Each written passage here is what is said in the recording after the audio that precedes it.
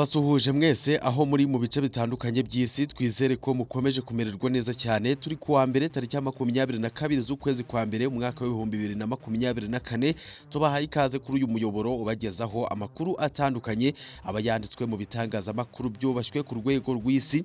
Nanone tugiye kugaruka kuri paje z'amakuru acukumbuye mu mutekano politiki na diporomasi ku rwego mpuzamahanga. Perezida evariste ndayishimiye nyuma yo gutangaza ko ashishikajwe no guhirika ubutegetsi bw'u rwanda perezida paul kagame yashimangiye ko agiye kongera umubare w'ingabo ndetse n'ibikoresho bihambaye ku mipaka ihuza u rwanda na congo cyo kimwe n'imipaka ihuza u rwanda n'u burundi mu rwego rwo gushimangira umutekano w'u rwanda. Yanatangaje ko agiye kurebana n'umuntu uwo ari we wese uzarenga umupaka akaza mu rwanda mu buryo butemewe. Ibi turabigarukaho. Nanone kandi ku rundi ruhande perezida wa congo felix antoine Tshisekedi Chilombo yashimangiye ko urubyiruko rw'u rwanda rukeneye gutabarwa. Aca amarenga yo gufasha fdr kugaba ibitero ku butaka bw'u rwanda mu gihe cya vuba. Ibi byose ngo rdf yiteguye guhangana na byo.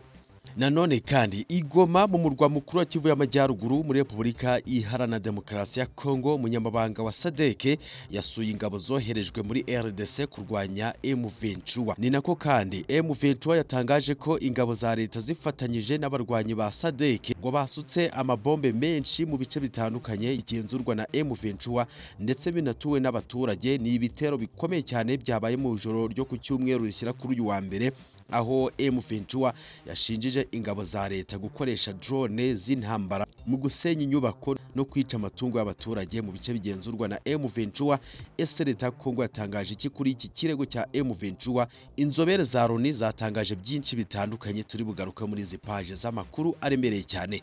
Tubahaye ikaze mwese reka tubibutse gukora subscribe nk'igikorwa cyo kudufasha kitagoye. Ni hepfo gato yo video murimo kureba ubundi tujye tubana namwe buri munsi.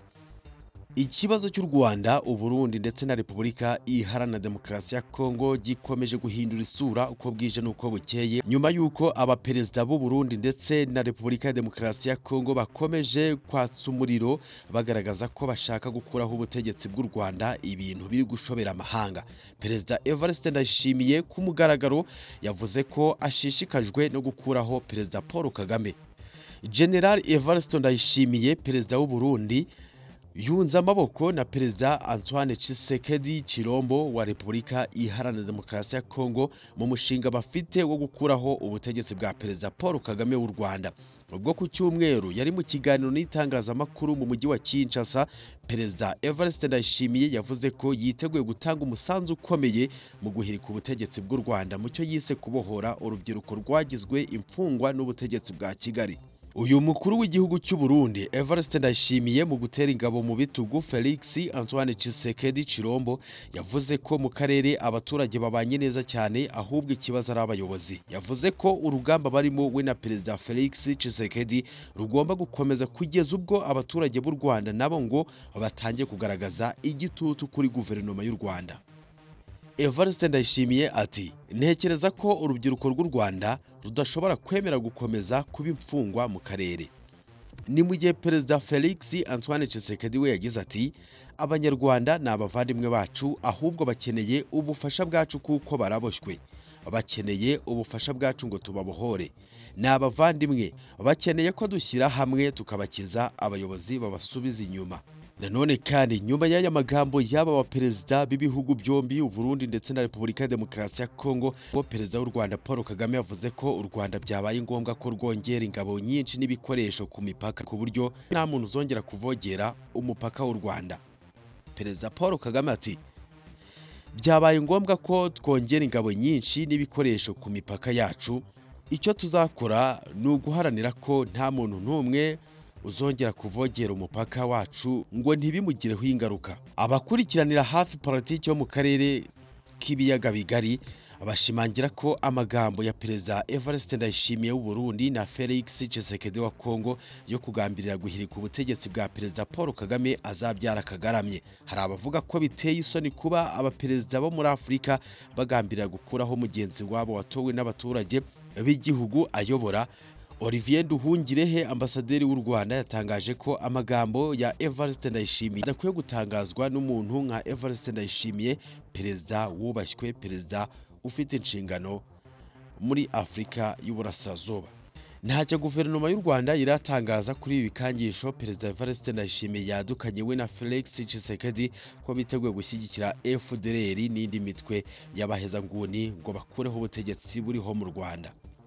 Reka dukomeze amakuru yacu twerekeza muri repubulika iharanira demokarasi ya kongo igoma mu murwa mukuru wa kivu y'amajyaruguru umunyamabanga wa sadek yasuye ingabo zoherejwe muri kongo guhangana n'abarwanyi ba M23. Umuryango w'ubukungu bwa afurika y'amajyepfo sadek watangaje ko umunyamabanga wawo elias magos yasuye ingabo zawo zoherejwe mu mirwano muri repubulika ya demokarasi ya kongo. Sadek ivuga ko migo magos ukomoka muri Botswana yari yaje kwishimira no kugenzura uko ibikorwa bya gisirikare byifashe mu burasirazuba bwa Kongo umutwe wa Sadeke kugeza ubu ugizwe n'ingabo zavuye muri Afurika y'Epfo Malawi ndetse na Tanzania waje gufasha ingabo za Kongo FARDC mu mirwano yo kurandura umutwe wa M23 hagati aho. Umuvugizi wa M23 Lawrence Kanyuka yatangaje ko mu ijoro ryo kuri iki cyumweru ihuriro ry'ingabo za leta n'imitwe bafatanya na zo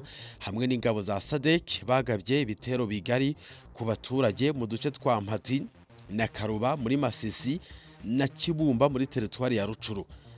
Lawrence Kanyuka avuga ko ibi bitero byifashishijwemo indege za drone hamwe n'imbunda za muzinga zirasa kure nk'uko iyi nkuru dukesha BBC ivuga.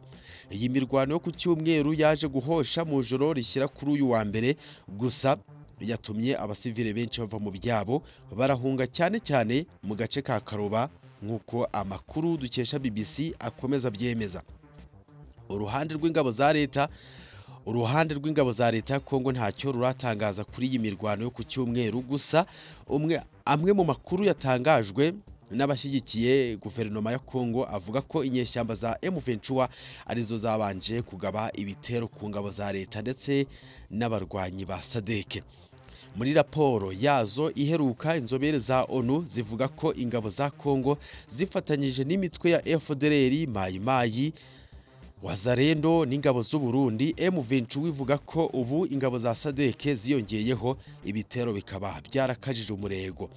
Ziriya ziriya nzobere za ONU zivuga ko M23 ifashwa n'igisirikare cy'u Rwanda nta gushidikanya. Kigali ihakana ibi byose ivuga ko ntaho ihuriye n'imitwe yitwaje intwaro muri Repubulika ya Demokarasi ya Kongo abasesenguzi batandukanye mu bya politiki bavuga ko hari impungenge zikomeye ko intambara ziri mu burasirazuba bwa RDC Congo bishobora gutera ubushyamirane bukomeye kurushaho mu karere k'ibiyaga bigari intambara igahindura isura ku buryo ibihugu byinshi byayinjiramo. Bikaba bibi cyane ku baturage batuye aka karere. Tugeze ku musozi w'amakuru twari twabateguriye reka tubararikire andi makuru mu masaha yacu ari imbere mukomeze mugubwe neza.